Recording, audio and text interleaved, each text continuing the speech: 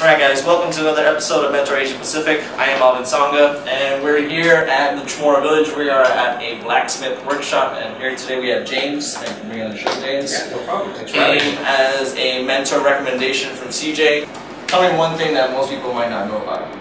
Um, I guess one thing off the bat that most people don't know about me, um, especially just by looking at me, um, is I'm actually half Korean. Half Korean, what's, what's, what's the other half? Uh, the other half is German. German. Oh wow. German, Korean. And um, I guess I just have to ask that, how did you, how did your family end up? Uh, well, my mom moved here from Korea um, because of a business opportunity that her dad had back in the, man, I want to say like 70s. Um, and then my, my dad moved here because he was in the Navy and he got stationed here. So that's gonna lead right into the, the next thing is, so your parents are here, they made you, now what's your story then? How do we get here today? Man, uh, my story's a little bit all over the place. Um, I've jumped around. Um, went to high school here on Guam. I was born and raised here.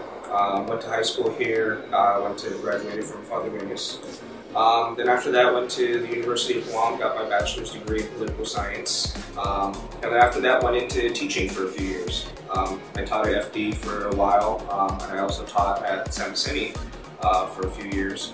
Um, and yeah, I had a bunch of different jobs in between that too. Um, but really, I think most of it was I wasn't really. I don't want to say I wasn't happy, but I, I just I hadn't found what I really wanted to do yet. Um, so, so when I had the opportunity to try out blacksmithing, um, I kind of jumped at it because it was something new, something that you know, I had really hadn't heard about before.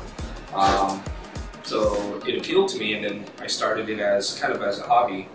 And then from there, you know, it just kept going, and I realized that you know this is really fun. I'm actually kind of good at it, so I just kept pursuing it, and you know, kept um, you know going to the shop every week, um, learning all I could from the master. And essentially, that's I guess that's what led me here.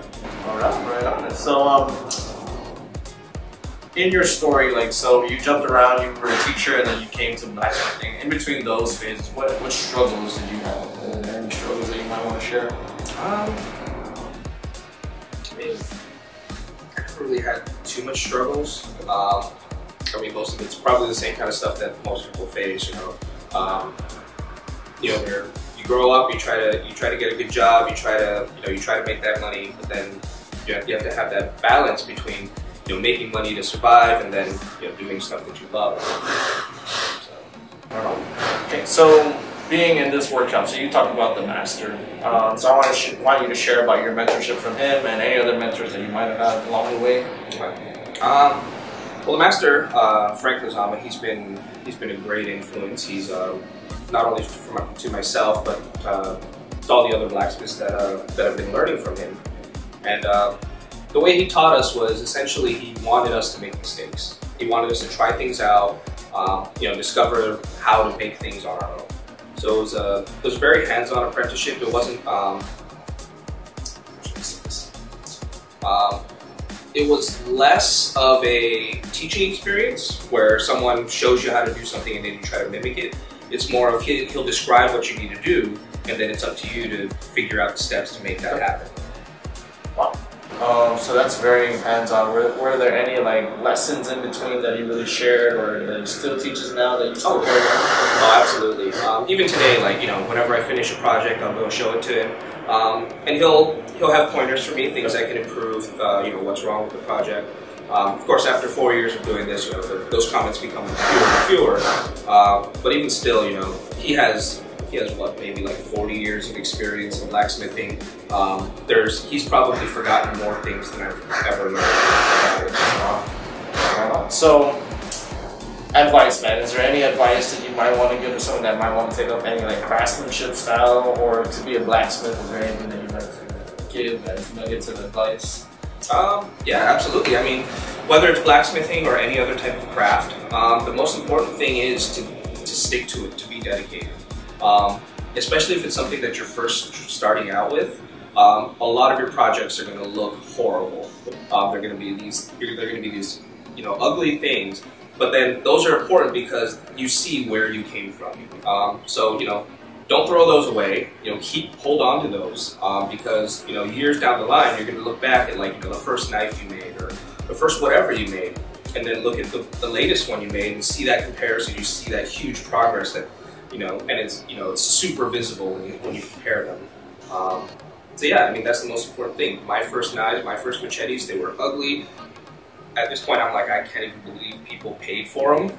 Uh, and I, I kind of wish that I could be like, can I have those back? I'll give you a new one. These look better.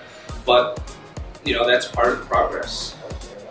So, being where you're at now, this is a craft that could, I'm going to say, is kind of endangered at the moment. So we don't know what's going to be going on with the craft after you.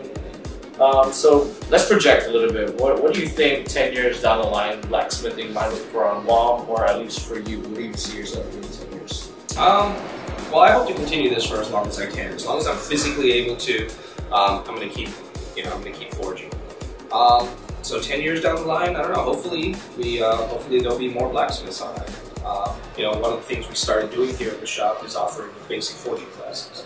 Um, so people can come in uh, a couple weeks uh, two or three weekends a, a month and you know learn all the basics. And those basics will set you up for everything else you need to learn that you can learn on your own. It's all the skills you need to make all the tools that we currently make. Um, so yeah so hopefully you know i think so far we've taught maybe a couple dozen um, students. Um, and some of them you know a lot of them have been military so a lot of them after learning you know they pcs they they move off island.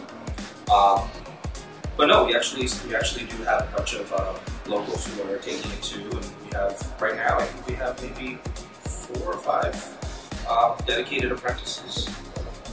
Right on. So guys, if you want to be a blacksmith apprentice, we are tucked away in the Chamorro Village right now. I'll put in a link and also a location of the workshop.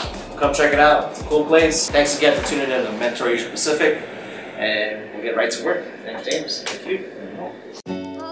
Thanks guys for tuning in to Mentor Asia Pacific. Once again, I'm Alvin Sanga. Check out all our social media that's going to be linked down below. Stay tuned, more mentors are to come. Uh, we're going to be releasing a mentor every week. And please, please leave a comment down below for any mentors that you'd like to be featured on the channel, any business professional, entrepreneur, or anybody that you believe is inspiring and can provide to be a mentor for the youth as well. Until next time, thank you very much. Sanga out.